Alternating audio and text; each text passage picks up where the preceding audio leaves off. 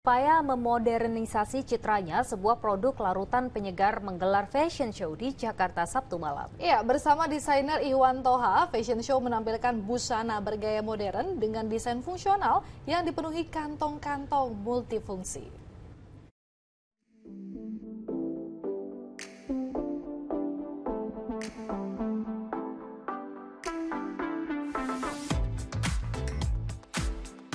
Pagelaran busana karya desainer Iwan Toha digelar di sebuah pusat perbelanjaan di Jakarta Sabtu malam.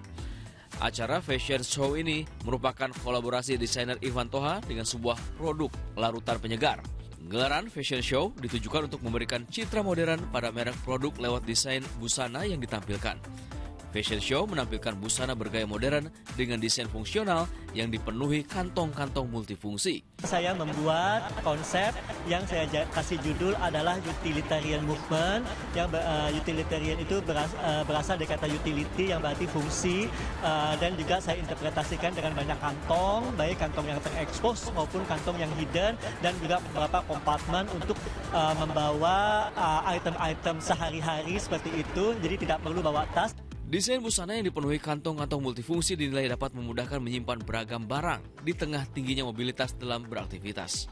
Jadi kita berkolaborasi dengan Iwan Toha di mana kita mendesain suatu uh, fashion desain pakaian yang menunjukkan esensi dari labuan penyegar Cambarak itu sendiri. Jadi harapan kita dampaknya supaya bahwa kayak kita merasakan udara makin panas dan juga kebutuhan masyarakat terhadap minum untuk supaya mencegah panas jalan itu kan pasti ada.